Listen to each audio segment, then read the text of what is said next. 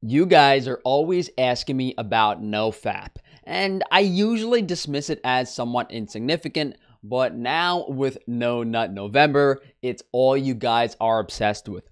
On my channel, I never really expected this to be relevant, you know, with all you cute little fairy boys seeing my cute little fairy face every day and you just no nut all over yourselves, but I guess there may be a considerable percentage of you who have some self restraint. NoFap is the act of abstaining from masturbation. No Nut November is a yearly ritual of doing so for a month. So there are three hypothetical benefits that I know of to not playing with yourself uh, retaining nutrients in the sperm, uh, hormonal changes, as well as psychological benefits. Big thing being psychological benefits. Now, I'm Italian and us Italian guys tend to look at anything with skin and hair. So, you know, one or two days after not having any fun, the middle aged behemoths at the gym start looking pretty attractive, and it's not a good look for me. You know, some Italian guy dogging after some ugly chick, not where I want to be, uh, but let's expand. Most people who pursue NoFap have wild success stories of increased confidence, improved energy levels, you know, realizing how bad their porn addiction was. Of course, you have increased sex drive, but these stories are very exaggerated. They, they're walking around like they feel like Chad, like Mr. Big Shot, like every woman's looking at them and they're just some type of pussy magnet. But substance and behavioral addictions involve the reward system of the brain, causing us to seek more of those stimuli, in this case, porn. Our modern world has created unnatural circumstances, though.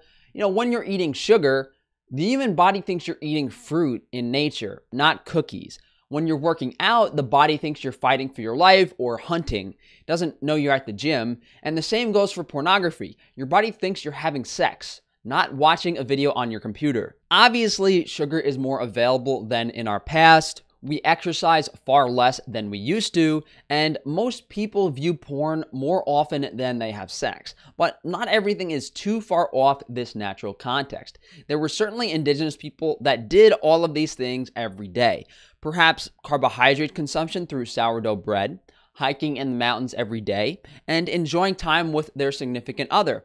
Or having an orgy with the tribe in hula skirts, who knows? Problem is, Many people take things to another level. They eat sugary desserts every meal of the day, become completely sedentary and overweight.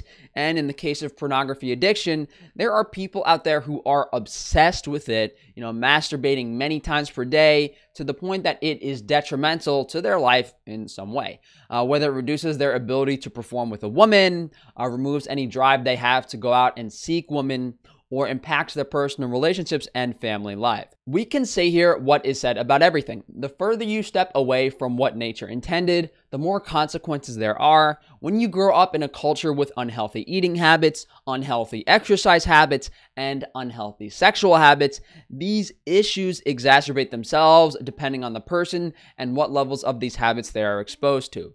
I've heard people talk about uh, desensitization of the genitals by what is called a a death grip, but how come no one is complaining about these women using these jackhammer Hitachi angle grinders to get off? It's like a built in construction worker. What about those vibrator butt plugs louder than your car's engine? I wouldn't pin reduced genital sensitivity or like the inability to find pleasure with normal stimulation. That's not specific to males. You know, both sexes can suffer from that. It is said that testosterone increases when abstaining from orgasms, but when you orgasm, DHT, which is the active form of testosterone, is created from testosterone. So it's not necessarily a hormonal net increase in testosterone by going on NoFap. And it is commonly said that boxers shouldn't have sex before a fight, as testosterone does ramp up slightly, you know, over a period of about 24 hours. And so it is likely that masturbating several times per day would result in lower testosterone in general. Uh, same thing can be said about females. Uh, there is a significant amount of overlap here. Uh, you know, the same performance things we said, like energy levels, improved mental clarity, more confidence, increased sex drive. And there's likely also a parallel with hormonal fluctuations in you know, more positive way in females. Another argument that is commonly made is that semen requires an input to be produced, uh, usually a quote from a religious text that said 40 drops of blood is equivalent to one drop of semen. Not 100% sure on that, but the amount of calories and nutrients in semen might be related to, you know, female lubrication fluid in some way. Either way, the amount is negligible in the context of the diet. The nutrients used to make semen are for the health of the sperm, which are very, very tiny. Uh, even so, though, most men don't have enough nutrients in their diet for this sperm to be healthy. The health of the sperm, as well as the health of the egg in females, contribute to the overall health of the child during contraception. If you're not nourishing your body with vitamins and minerals, from high quality animal foods, your sperm isn't getting nourished either. I wouldn't worry about loss of calories, loss of nutrients, loss of anything from ejaculating. Wet dreams, which are the male's ability to remove excess sperm from the body, happen at different rates of occurrence. Some men have them several times per week, some men once or twice per month, some men several times in their life.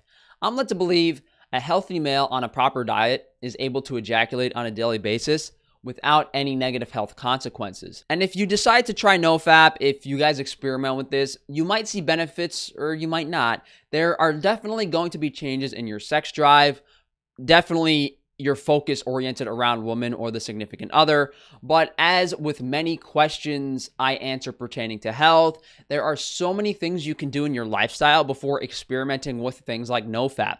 Fix your diet, fix your exercise, fix your sleep. Uh, then you can start experimenting with things like NoFap, with like cold showers, uh, standing in front of a red lamp, whatever you want to do. There may be merits to some of these things, but you have other things that should be done to find your true health that are much more important. Uh, there was a bit of backlash recently against NoFap uh, from the porn industry, allegedly. But with all the infighting between men and women right now, I don't know what to believe. If it's a straw man argument, who knows? Uh, the point is that we have to stop arguing with each other and work together to create ideas and solutions to make ourselves happier. The culture we're growing up in, you know, it's not conducive to a healthy sexual relationship, whether you are male or whether you are female. And right now, there's a very few percentage of people that are actually happy with their lives and their performance. And that small percentage of people is at the top and they pretty much have their pick of the litter and they get to do whatever they want. And in order to make everyone happy, in order to make the world better in general, you know, these ideas need to be discussed more. People need to be given an objective opinion of everything. And what's happening right now is these camps are created, you know, in NoFap, in um, various male and female centered groups where they're trying to almost win. They're trying to really promote their ideas and what they're doing. And it's almost like it's either our way or the highway. And you have to do NoFap because it's so good for you. And I can't see you doing any other thing. But uh, that's my two cents, guys. So what's going on, Frankie boy? Do you choke your chicken? Do you whack your willy? Do you, uh, uh, you know, you guys are way too, as I said, you guys worry way too much about things that aren't significant. Uh, way too much. So definitely explore other aspects of your diet and lifestyle. As always, be very objective, analyze how it affects you. So thank you guys for joining me. If you could please like the video, subscribe, definitely hit that bell icon and share the video if you can. Uh, if you guys do want to support me further, you can check out Frankie's Free Range Meat, high quality, nutrient dense animal foods at an affordable price.